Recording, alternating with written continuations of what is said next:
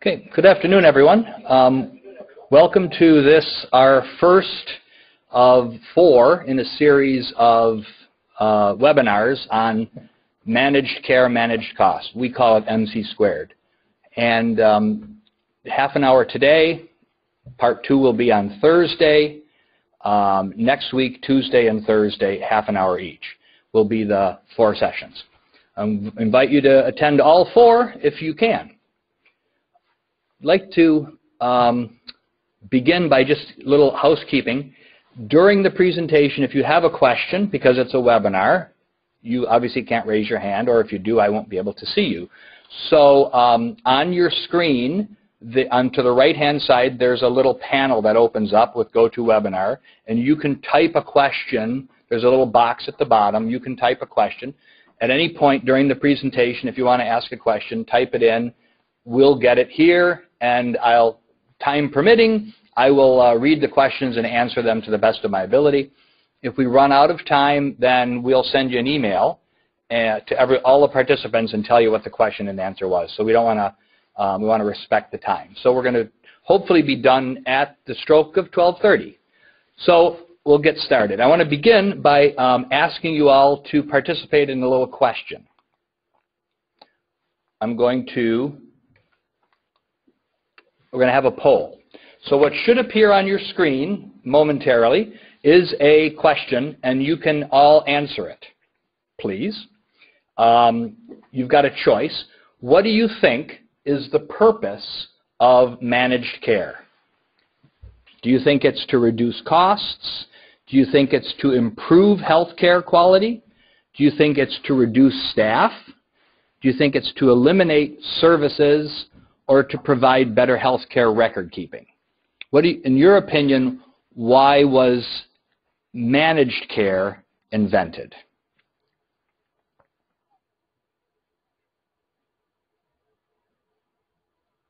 Okay, so give you another five seconds to click your answers, and then we will see um, the results of the poll. Okay, so let's see what you all think.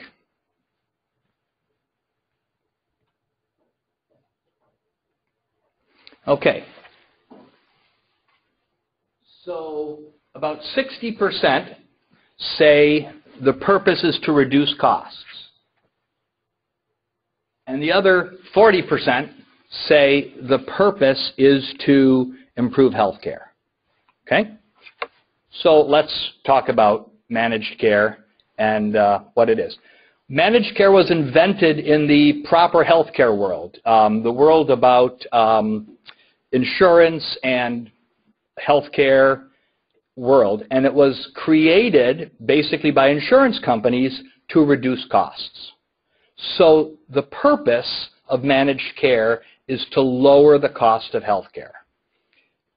The insurers at the time fully believed that if I reduce costs, the way I will reduce costs is eliminate waste and duplication. And if I eliminate waste and duplication, what I should get is better health care. But that's not the point. If I get better health care, then bonus. But the purpose was to reduce costs.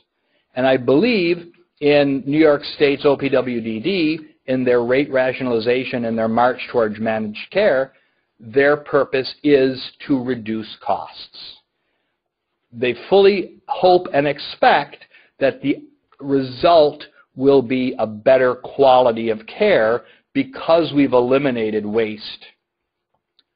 But that's not the reason. We don't have managed care to provide better health care. We have managed care to reduce costs. Now, that's a completely different way of thinking, perhaps, to what you're used to in um, OPWDD today historically, you've spent the money you've needed to spend to provide proper health care to your people that you serve, and then you've filled out a CFR, you've submitted it to the state, the state has granted you a rate, and if there's a reason for you to get more money, you've had rate appeals, etc. So you've spent what you've needed to spend to provide what you need to provide, and you've been reimbursed. Now we're talking about a march towards managed care, currently called rate rationalization, which is to reduce costs. So your focus needs to be on costs. This is a big new way of thinking. Think about when Columbus first set sail, sailed west to go east, and all the people thought he was crazy because he was going to fall off the end of the earth and be eaten by dragons. Well, once they've proven, after Magellan sailed around the world, and we proved the earth was round, everybody knew it to be a fact. It took 100 years or more for people to actually start thinking the world really is round and not flat. It takes a long time to change. This is what we call a paradigm shift. So I think what's the, probably the most important thing that we want to get across in our message is that this is a completely new way of thinking for you as you manage your agencies. It's not how do I best present in an optimal light to the state what I have spent and get my money back. It's you'll get this much money, manage it, do a decent job, don't overspend because you're not going to get any more. So the focus needs to be on cost. Our uh, MC squared, Dopkins and Company, came up with this idea, managed care managed cost. There's two MCs, that's the MC squared. And we have what we believe are four major topics that you should think about in this framework when you're thinking about managed care. And we believe that they go in order from left to right.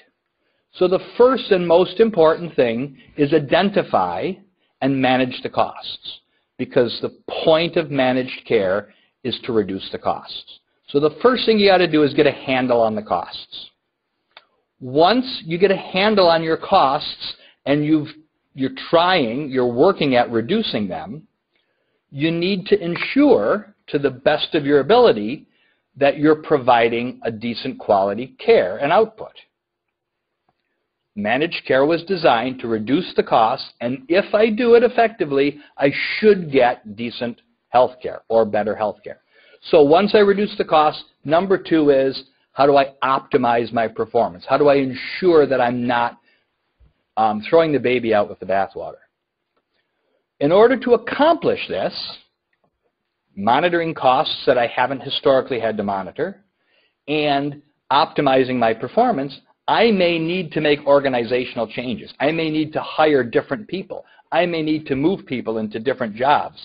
I may need to train people to do different things in order to accomplish something that for low these 20 or 30 years we've not had to do. It's a big change. And as with anything that's a major change, the concern is it won't be consistently carried out. That's where compliance and internal control comes into play. How do I ensure that the people who are charged with monitoring costs, optimizing performance in their new organizational roles are doing it and doing it effectively. That's compliance and internal control. So these are the four topics that we're going to talk about over the next four sessions. Today is identify and managed costs. Okay? First thing is identify them. How are you going to reduce costs if you don't know what they are? Simple thought.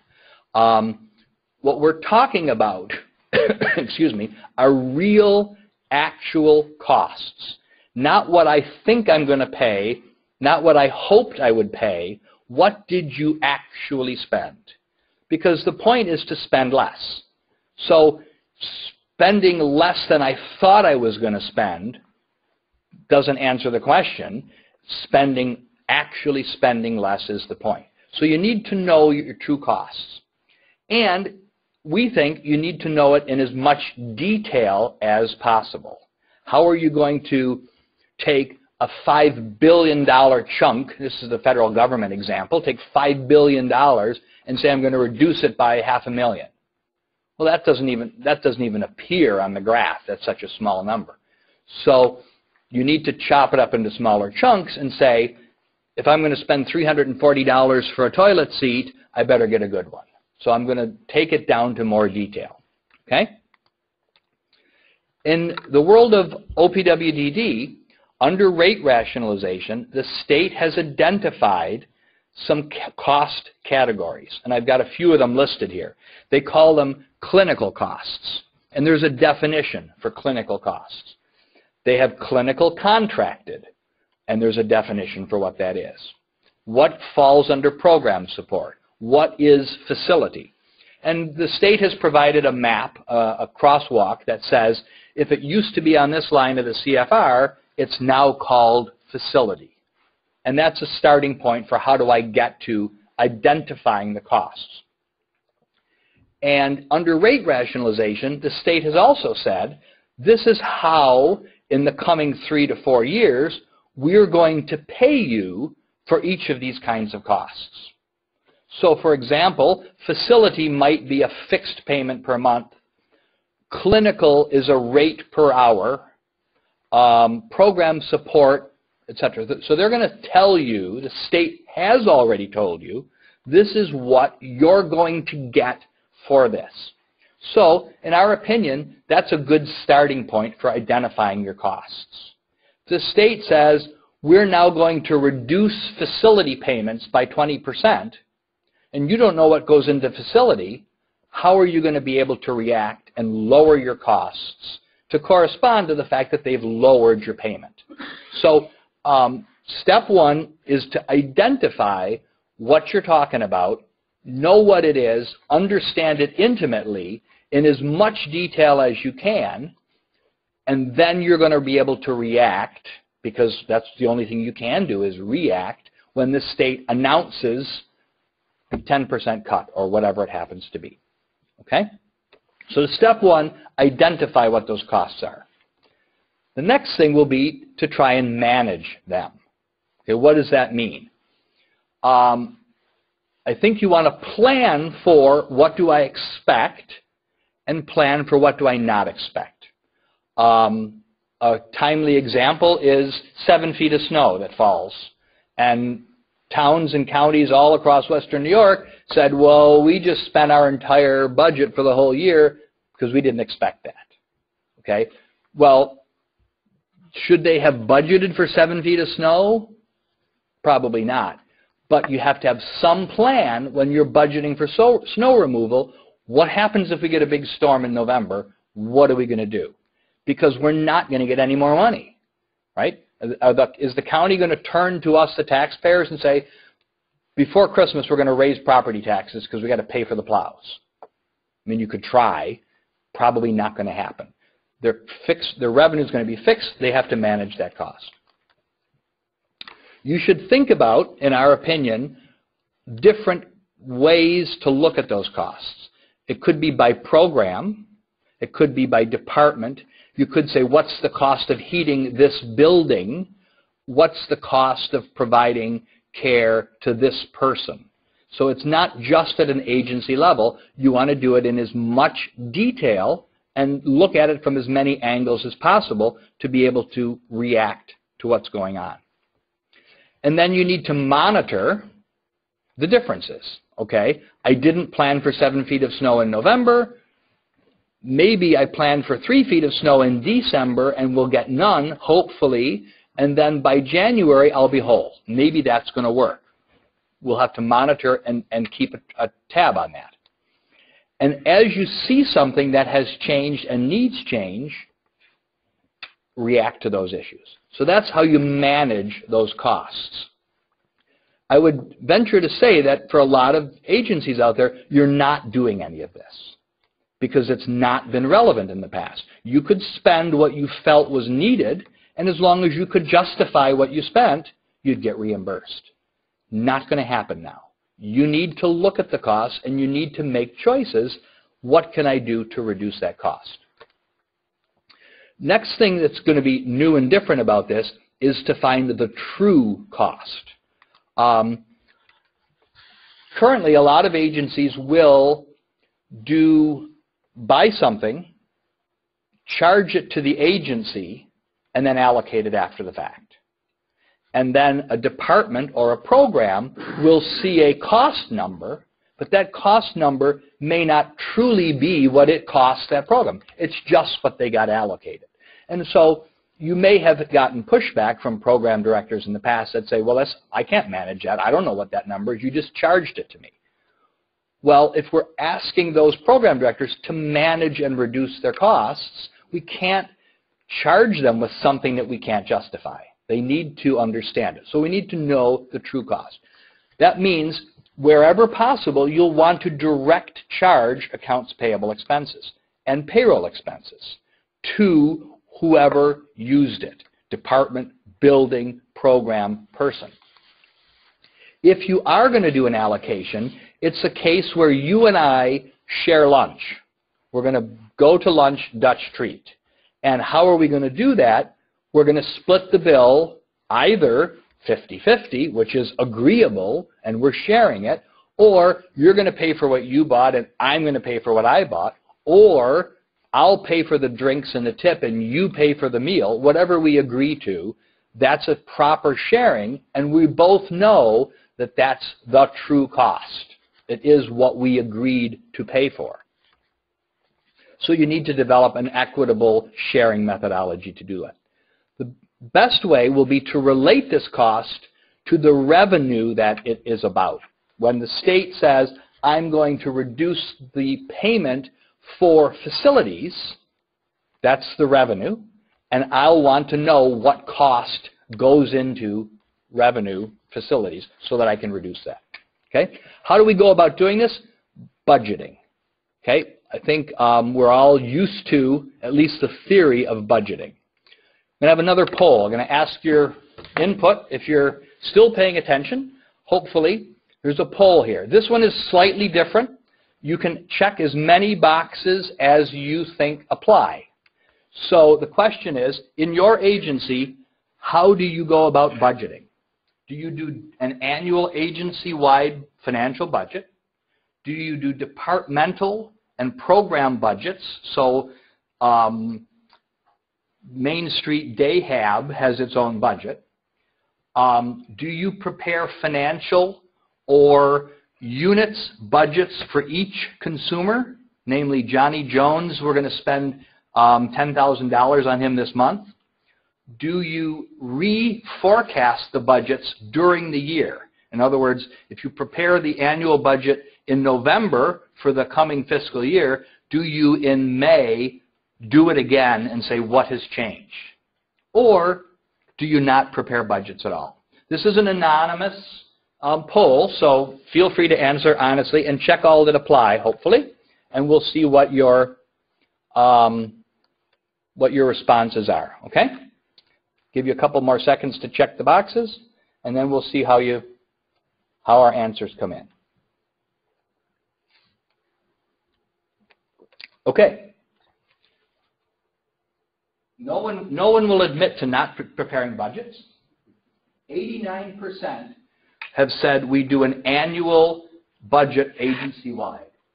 100% do departmental budgets. So interestingly, the budgets happen at the department level. 22% do budgets on a consumer-by-consumer basis, and 28% say budgets are reforecasted during the year as changes come about. Okay? 80% of you voted, so the other 20% have already left.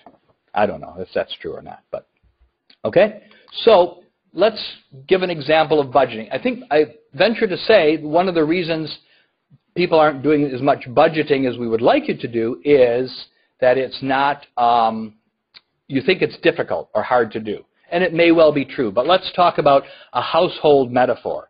Um, my daughter is graduating from college this month, December, and she's got a job, and she'll be, she has an apartment, so she'll be moving next, this coming weekend, we have to rent a truck and move stuff down to Columbus, Ohio. So she's now faced with budgeting her income she's got an entry-level job and a salary um, and no health care. Um, so what has she got to plan for? She has to plan for rent, car payment, paying back her student loans, paying for utilities, insurance, car insurance, health insurance, um, life insurance, maybe, um, renter's insurance. The apartment she has requires renter's insurance. Um, she's got a plan for food, and she's got a plan for entertainment, unless she's never going to have any entertainment. So she's got, and that's maybe just a short list of what she needs to think about. And she's only got X amount of dollars to spend because that's what her job is paying her. So if she wants to buy a new car and she wants to buy a Range Rover, then she could go to her boss and say, I need an extra $100,000 a year to pay for my new car. And the answer is going to be no. Simple answer. So she's got to work within the budget. And I think we've all probably been there and, and how that works. There's two basic types of budgets, and I think you should do both of them. Um, one is a baseline budget, in which you take a baseline and start from there. So in this example, you, and many of you may do this, is you take last year's actuals. So you start in October, you take 10 months of actuals, you divide by 10 and multiply by 12 and say that's annualized, and I expect it's going to go up about 4%. You multiply it times 0.04, and then you call it the budget, and then you go in line by line and change things here and there. That's a baseline budget. And that's a good starting point. That's the easiest way to do it, frankly, is to go in and I got to start somewhere, and it's a good a good starting point. Um, the problem is it's a lot harder to justify reducing a cost because, in fact, I had to pay it last year. I probably have to pay it this year. There's not really uh, an incentive or uh, a motivation to say, just because I paid 10000 last year, why should I pay 10005 this year? Maybe I should pay 6000 this year. So basing it on history is a starting point, but it's not a good way to reduce costs.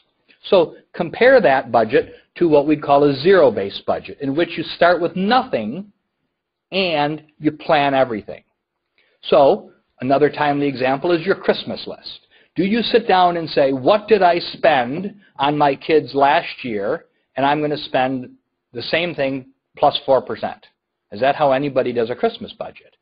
Or do you say, give me your Christmas list, what do you want? I will go out and price it and figure out what I can afford to pay. And if I don't have enough money, I'm going to start crossing things off the list. So tell me which things you want the most, because I will try to get those first and then cross the other things off the list. Okay? So in this case, each expenditure needs to be justified. So I think you do both of those kinds of budgets. Um, this is the one that you can look at and start crossing things off the list.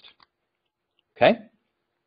When you're preparing your budgets, don't forget to think about the units. Okay? By that I'm saying, um, look at your gas bill. If you get your gas bill that comes for your home, you'll see, at least on mine, which comes from National Fuel, there's a little graph that shows how many cubic feet of gas I've used every month for the last year. And if my gas bill is high, or what I think is high, and I look and see that the bar for this month is actually shorter than the other months, that means, okay, I'm using less gas, but it's costing me more. Okay, that's a looking at the units example. So just saying, well, the cost of gas has gone up, or I'm using more, I'll use less, that doesn't necessarily cut it. So you have to say, perhaps I'm willing to turn the thermostat down. And that will lower the cost of gas.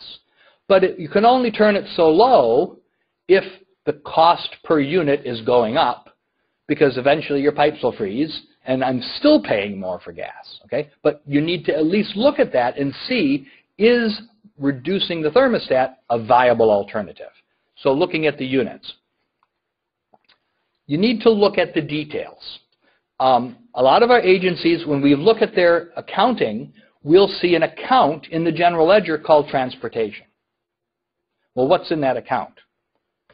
Well, um, the cost of vehicles that we own, the cost of vehicles that we rent, the insurance that we pay on those vehicles, the gasoline, oil, and maintenance that we put into them, the maintenance, the insurance, all lumped into one. In some cases, we even see the cost of an NFTA bus pass charged because it's in fact transportation. But what it is, is it's a giant box of mismatched junk.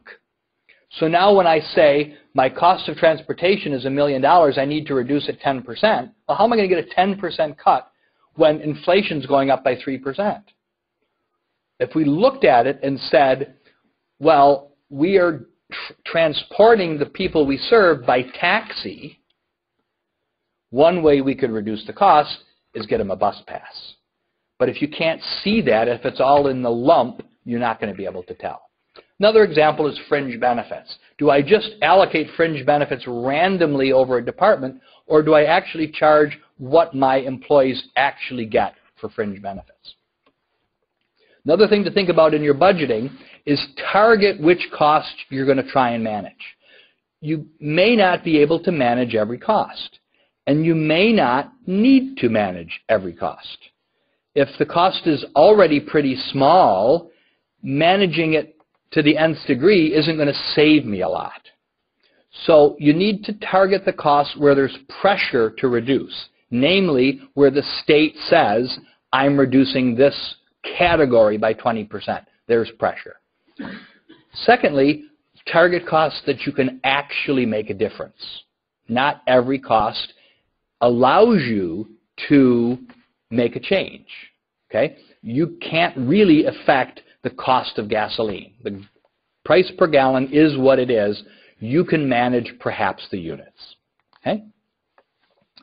Once you've got all these things going, these budgets by people, by unit, by department, um, baseline budgets, zero-based budgets, reforecasting them multiple times a year, you've got all this data now to compare and identify, whoops, something went wrong. I can't afford to buy food this month. Maybe my entertainment was too high. Maybe I spent too much time at the bar last weekend. You can compare two different consumers. What does it cost per mile to get Johnny Jones to Dayhab? What does it cost per mile to get Sally Smith to Dayhab? So you can compare individual departments, individual um, consumers, which may be very different at the total level, but when you get it down to the units, they may be very comparable, and you should look at for examples to do that.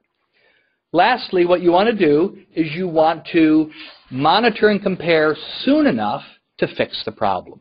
This is where the reforecasting stuff comes in. If a quarter, three months into the year, I notice that I'm woefully wrong in my budget for heating in facilities, it doesn't do any good to keep to leave it there and try to manage against it. I need to um, look at those and say, it's in reality has changed, change the budget, and react accordingly, try to change differently. Okay? So that's our first bullet point. Um, on the MC squared, identify and manage your costs. It's a whole lot of stuff there for you to think about. Um, there's a whole lot of stuff there that may be beyond your existing agency's skill set because, as I said, there's no shame in that. You haven't done it this way in the past. We're here, Dopkins and Company, to help you do this. We've got a lot of experience in cost accounting. We've got a lot of experience in budgeting. We've got a lot of things that we can help provide you um, to get to where we think you need, where you think you need to be in managing and monitoring your costs. On um, on a Thursday, Ralph Jeswell will talk about the second box, which is optimizing performance. Once I've done what we, I've talked about today and identified all these costs, how do I react to the fallout if I try to reduce a particular cost? and that will be optimizing performance. The slides will be available um, if you want them. You can drop us an email, I think, and we'll send you the slides. Um, this webinar has also been recorded, so it will be available. So if there's someone in your agency who you hope would have seen it and wasn't able to, it will be able, it will be available for them to watch again. Um, so I'm, I think a minute and a half over budget, so I'm sorry, so that should not reflect on our budgeting ability and our consulting here.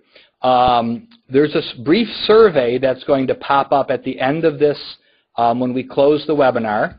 Um, at three simple questions, I'd ask you to rate them as you would normally do if you attend a uh, seminar on how you think, what you think you got out of this. Um, so thank you very much for attending. Hope to see you all on Thursday. And we're going to turn off the webinar now, and you'll get the survey. Please